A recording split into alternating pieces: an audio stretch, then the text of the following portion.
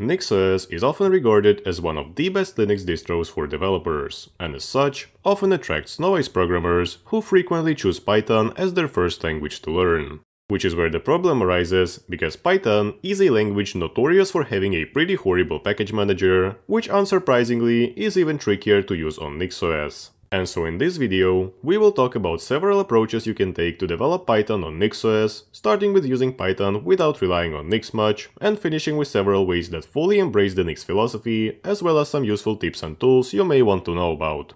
But before we move on, comes a word from the sponsor of today's video, and not just any sponsor, because this is the first advertisement on the channel to teach you even more about Nix, featuring determinate systems. You likely already know them for their great work bringing Nix to the enterprise, which they do by creating various projects that make Nix more accessible, like their easy-to-use Nix installer written in Rust, Determinate Nix for enterprises, and most importantly, FlakeHub, the go-to platform for discovering, sharing, and managing Nix flakes, which comes with a ton of cool features, including a modern open-source CLI that makes creating and managing flakes absolutely trivial, as well as support for private flakes through user authentication, which I know many of you will definitely love, and even semantic versioning for flakes, ensuring that you always stay in full control of your updates and never experience unpredictable breaking changes. Many of your favorite projects can already be found on FlakeHub, so don't hesitate to try it out today by signing up for free at flakehub.com and get an entire free month of Pro Plan with coupon VIMJOYER, giving you access to all features FlakeHub has to offer, including FlakeHub Cache and the private flakes mentioned earlier. Back to the video, but before we begin, a quick disclaimer, I am not a professional Python developer, far from it, so if there is anything you want to add or correct, feel free to leave a comment. Alright, with that out of the way, the first approach which we are going to look at is using Python while minimizing the use of Nix. Because even though it's not an ideal way to do it, it will still be useful to those of you who work on projects that don't use Nix, and of course will help us understand why using pip on NixOS is such a hassle. And so to begin, we obviously first need to install Python, which can be done by simply adding it to your system packages to have it globally, or even better, using a Nix shell to grab it temporarily and not pollute your user environment. Then once you have it, try it out in a REPL using a regular Python command, and it should work out of the box. However, the part where you will start running into issues is when you decide to install some packages. To demonstrate, let's try to create a venv, install numpy, and try to import it in a REPL, only to get an error telling us about a missing libstdc++ library. Why did that happen? Well, it's all because, although Python itself is an interpreted language, many of its packages rely on libraries written in fast, low-level compiled languages like C or C++.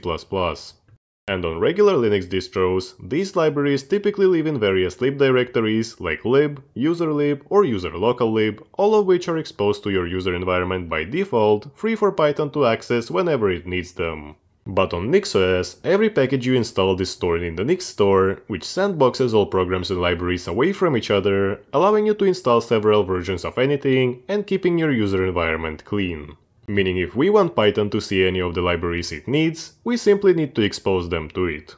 And the easiest way to do it is using a Nix shell. I already have several videos about Nix shells on the channel, so feel free to check them out if you want to learn more about them, but right now, all we need to do is create a shell.nix file in any directory and fill it with the structure you see on the screen. Within this file, we can specify any packages and environment variables that our shell should have, which is exactly what we need, because the ld library path environment variable is what most Unix-like operating systems use to locate shared libraries. To declare it, we can use a very convenient Nix packages function called makeLibraryPath, which takes an array of packages as a parameter, and for every package we put inside of it, we will get its libraries added to our library path.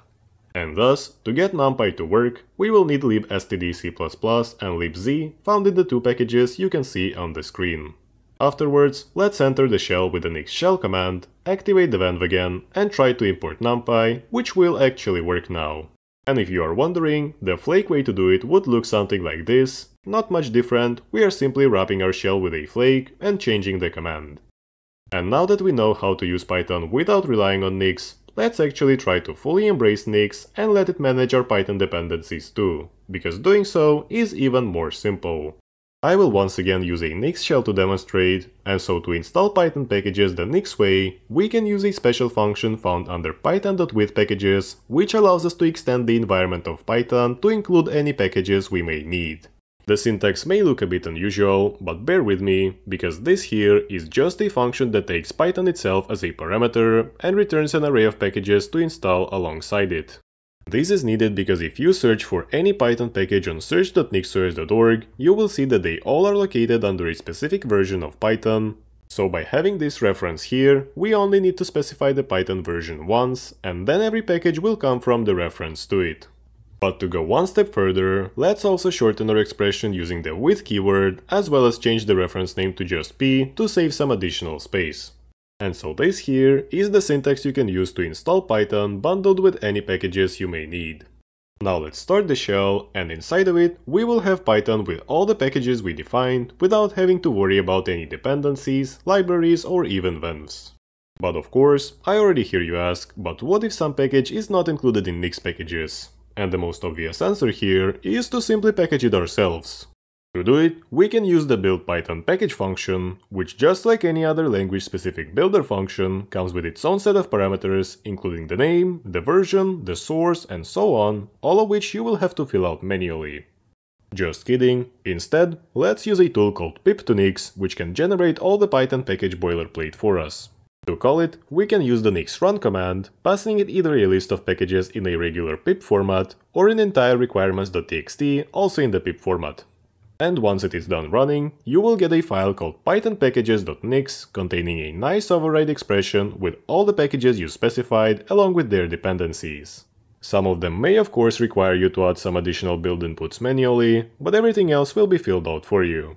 Then all that's left to do is to apply the overrides to an instance of Python, and to do it, let's first use the call package function on the generated file to get the overrides, and then apply them to Python using the override function.